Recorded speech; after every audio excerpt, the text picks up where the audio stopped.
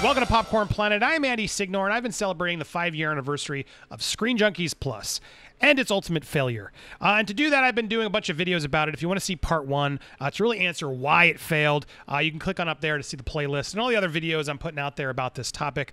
Uh, but I got so many questions from you guys, and I wanted to answer them all, particularly about the two biggest titans we secured for Screen Junkies Plus. Of course, I'm talking about Chris Stuckmann and Jeremy Jahns, uh, both of which still massively successful in the YouTube space. Uh, two critics I still look up to and admire. Uh, we were able to get both of them to create exclusive shows for Screen Junkies Plus. So, how do we do that? Were they successful? Was there a rivalry between those two? Was there any drama? I'm going to bring all that to you right here in this installment of this series. Now, before I get to that, though, I got to go through some of my script here. I'm going to go through some of my bullet points to sort of really get you through all of the history of this story. Now, for those of you who are like, what is Screen Junkies Plus? Uh, well, this was a paid streaming service that we made for Screen Junkies uh, five years ago.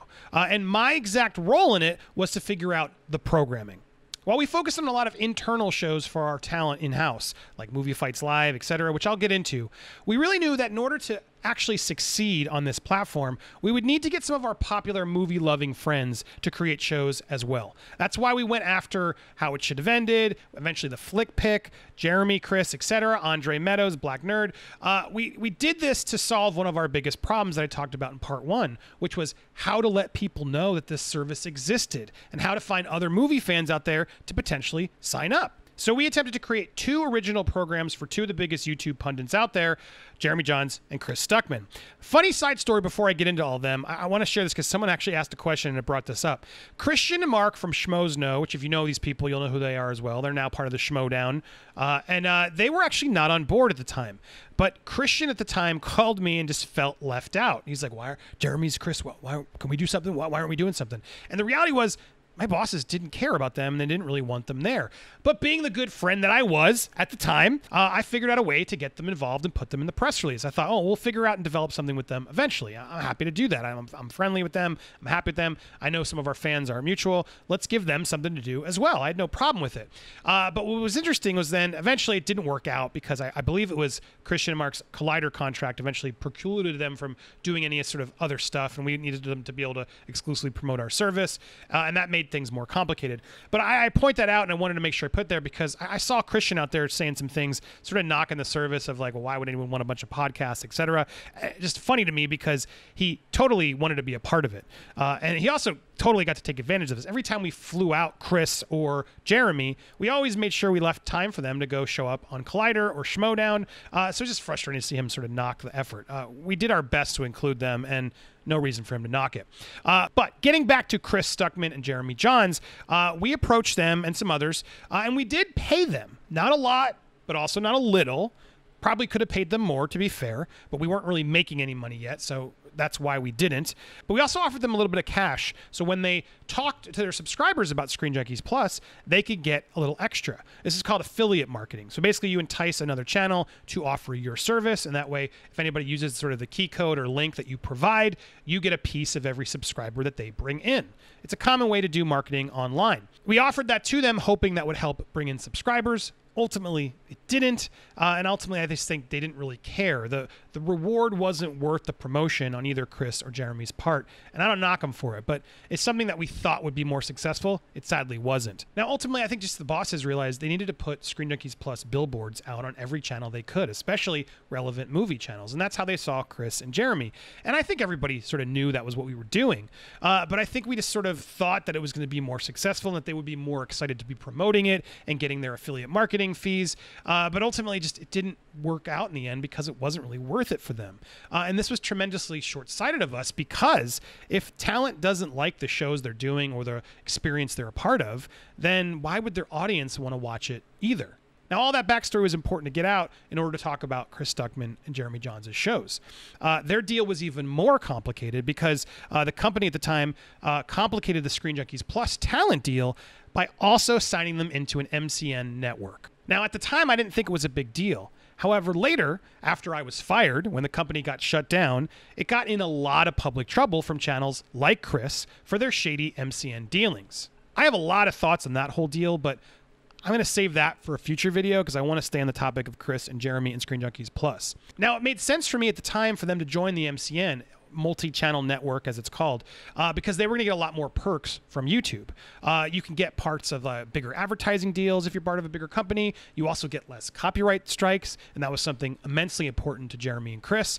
Uh, and I made sure that they got into the network at a zero percent pass-through, which is the best you could do, which means the company takes zero uh, fees from those giving you those perks that I just talked about.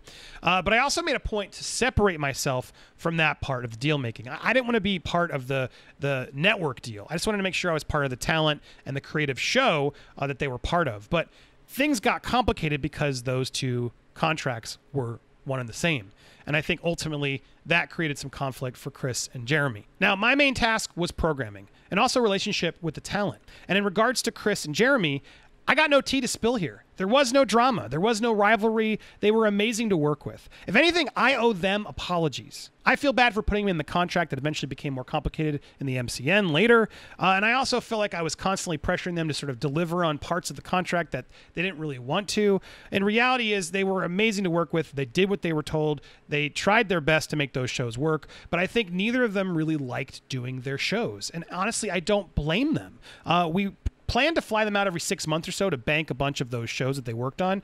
Uh, we struggled with a good idea for Chris, but ultimately settled on first and worst. It was a simple podcast show uh, where he had a guest on, and then they would choose a celebrity to debate what was the best and worst movie for each celebrity. Uh, first and worst was fine, uh, but also nothing that would drive over Stuckmann fans in droves, and that was ultimately the problem. I think it just became kind of a boring show to do over and over again, and it wasn't a view driver. Now, Jeremy's show, Movie Games, was a whole nother story. I loved movie games. I loved Jeremy as a host. And Jeremy always had a blast taping those episodes. Now, I don't think I'm speaking too out of turn to acknowledge that Jeremy prefers to edit and prep his content. He also hates traveling, especially to Los Angeles. So I think all of that put him in as an odd fit for host. Uh, it just didn't showcase his strengths, uh, which is showcasing his wonderful movie punditry and knowledge and criticism.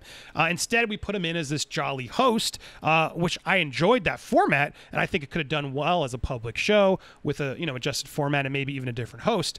Uh, but it just it was not a format to drive Jeremy Jahns fans. Uh, the travel and long shoots just they took a toll on him, and I don't blame him at all for that. Uh, and ultimately, I think both Chris and Jeremy just lost interest in doing the shows. They had other stuff they were doing. The return wasn't worth it, uh, and at the time, uh, that annoyed me. And so I, I'm sure I put some pressure on. Come on, we got to tape more, and come on, help us out. And in hindsight, looking back, they were right. And I wish I hadn't been so hard on them because look, I was doing my job. I was being you know whipped from the top as well. Why aren't they going? Why aren't they going? And I felt like they didn't want to be a part of it, but they just didn't have the best shows. We didn't really give them the best shows, and that was on us. They were delivering what we gave them, uh, but their shows also just weren't performing as big as we'd hoped. And that's not to diss them in the slightest. That's on me. I made sort of boring shows that didn't really showcase them as talent. Look, I wish I could have done things differently, and if I could, I would have made a Jahns Stuckmann podcast, uh, Siskel and Ebert type show, where they could phone in from where they lived, no travel, and talk about the films that they each reviewed that week. Seeing them sort of go head to head and talk about it would have been a fascinating show that I think both fans would have enjoyed watching them sort of bicker or agree or talk about the love of movies. Uh, and it would have been something they wouldn't have to prepare too much for because they would have already done it the week prior. And I think, as simple as that show sounds, it would have been a huge, much bigger draw for both Jeremy fans and Chris Stuckmann fans. Uh, that would have brought in subscribers for each of them. It would have cost less. It would have avoided travel, and I think it was, could have been a weekly commitment that hopefully they had done for a price. Uh, and I wish we could have done that one instead. But we felt the pressure to sort of put them each in their own shows so we could have the Stuckmann show and the Jeremy John show, and ultimately that was a short-sighted goal. We shouldn't have done that. We should have we should have teamed them up because I think together that would have been even something better that you couldn't have got anywhere else. And that was pretty much it on Chris and Jeremy. There was one week where we had them both there at the same time because we were doing photo shoots of everybody, uh, and we got them to p- appear on some of the shows on Plus, and we got them. They appeared on Collider and elsewhere, and we tried to get them on movie fights, etc. We always tried to tap them into other programs when they came to visit, as well as bank a huge amount of their shows, which took a toll on them. Uh, ultimately, I am so grateful for the work they did. I remain huge fans of both of them. I know they're both doing extremely well. Again, I wish them the best. I have no ill will towards them. Uh, thank you both for doing it. Guys, they are both awesome guys who just do what they do and they do it best.